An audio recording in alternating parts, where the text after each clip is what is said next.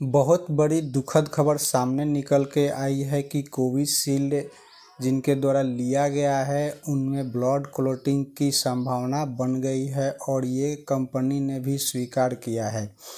तो इस वीडियो में आने का तात्पर्य ये है कि हम लोग आईसीडीएस कर्मी जितने भी हैं, सेविका, सहायिका या उनके फैमिली हैं, हम लोग द्वारा भी अत्यधिक मात्रा में कोविशील्ड का ही प्रयोग किया गया है। यानी कि कोविड नाइन्टीन के प्रोटेक्शन से बचने के लिए हम लोग ने भी कोविशील्ड का ही इंजेक्शन टीका लगवाए हैं।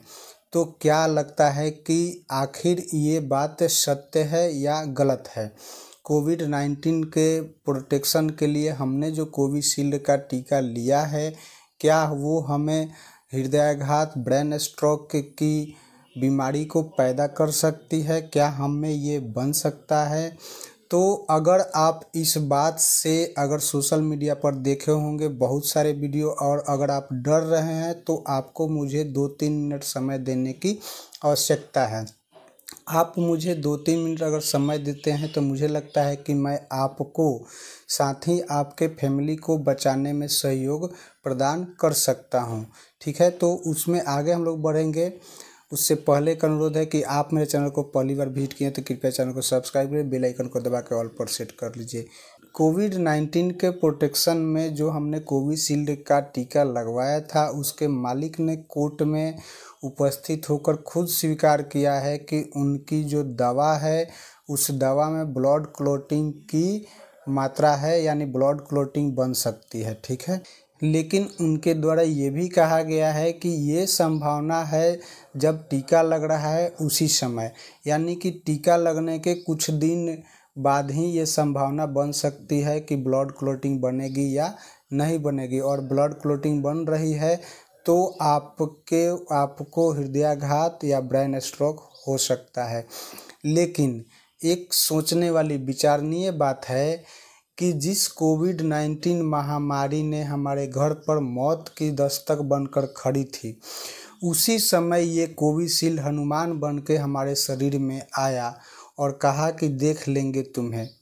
तो क्या इतनी बड़ी दवा जो कंटिन्यू हमारे शरीर में तीन साल से दौड़ रही है और उस सबसे बड़ी महामारी को मात दी, क्या वो आज हमको डरा सकती है? बिल्कुल नहीं। अगर उनको डराना होता तो उसी समय डरा दी होती और उसी समय ब्लड क्लॉटिंग बन गया होता और हम लोग को उसी समय स्ट्रोक आ गया रहता। लेकिन ऐसा नहीं हुआ। ये बात ज़रूर है कि हर दवा का साइड इफ़ेक्ट होता है। जैसे कोई भी दवा लीजिएगा तो उसका साइड इफ़ेक्ट है, लेकिन आपको बता दिया जाए कि इस दवा से ये इफ़ेक्ट है तो मुझे लगता है कि आप कोई भी दवा यूज़ नहीं कर पाएँगे। आप अपने शरीर के बचाव के लिए या किसी भी दुख में अगर कोई भी दवा यूज़ कर रही हैं तो आप उसका साइड इफ़ेक्ट देख सकती हैं कि उसका साइड इफ़ेक्ट बिल्कुल है। लेकिन फिर भी हम लोग दवा का सेवन करते हैं, क्योंकि तत्काल हमको बचाव चाहिए, ठीक है? कोविड नाइन्टीन जो हुआ था, हम लोग दो हज़ार इक्कीस के आसपास हम लोगों ने फ़र्स्ट टीका लिया था। और 2021 से 2024 आ गया। हम लोग के शरीर में अभी तक ब्लड क्लोटिंग की कोई संभावना नहीं है और ना ही कोई दिख रही है। तो क्या लगता है, डरने की ज़रूरत है? नहीं। दूसरी चीज़, एक कहानी हम आपको बताएँगे। एक बीमारी होती है हीमोफीलिया। वो बीमारी जो होती है, वो अनुवांशिक होती है जेनेटिक होती है। यानी कि अगर हीमोफीलिया हमारे परिवार में किसी को है तो वो सबको है।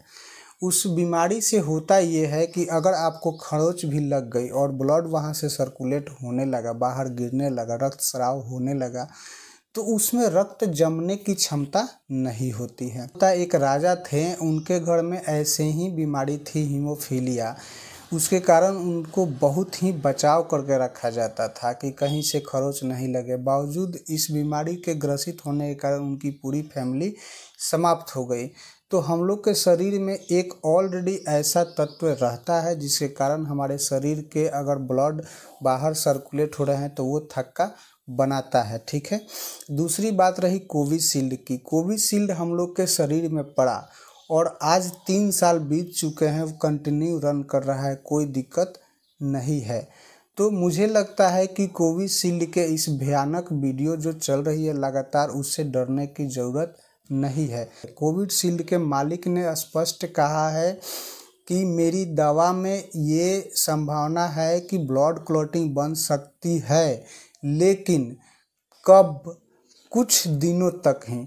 कुछ दिनों में अगर ब्लड क्लॉटिंग बन गई तो संभावना बनती है, अदरवाइज़ कोई डरने की ज़रूरत नहीं है। तो हमारी जो फैमिली है, सेविका, सहायिका और उनकी फैमिली लगभग अधिकांश लोग कोविशील्ड का उपयोग किए हैं। तो कोविशील्ड के उपयोग करने वाले से मेरी यही अपील है कि डरने की ज़रूरत नहीं है। हाँ अगर आपके मन में सोशल मीडिया पर बहुत सारे वीडियो देखने के बाद संभावना बन गई है, डर बैठ गया है तो आप अपने डर को हटाने के लिए इस वीडियो के माध्यम से जो जानकारी मिली है, संतुष्ट हैं तो ठीक है। अदरवाइज़ आप अपने डॉक्टर से मिल के एक बार इसका चेकअप करा सकते हैं कि आपके खून में क्लॉटिंग बन रही है या नहीं। अगर क्लॉटिंग बन रही है तो उसका इलाज भी है। बहुत सारे दवा आते हैं जो ब्लड को पतला करते हैं और हो जाता है उसका उपाय। तो उम्मीद है कि आपको वीडियो अच्छा लगा वीडियो से जानकारी मिलेगी वीडियो अच्छा लगा तो लाइक कर दीजिए, चैनल पर पढ़ी वीडियो सब्सक्राइब कर दीजिए। साथ ही एक अनुरोध और है कि इस वीडियो को सभी सेविकाओं के पास शेयर ज़रूर कर दीजिए ताकि सभी सेविका जागरूक हो सके, किसी को डरने की ज़रूरत नहीं है। वीडियो अच्छा लगे तो लाइक करके शेयर ज़रूर कर दीजिएगा। मिलते हैं अगले नए इन्फॉर्मेटिव वीडियो के साथ।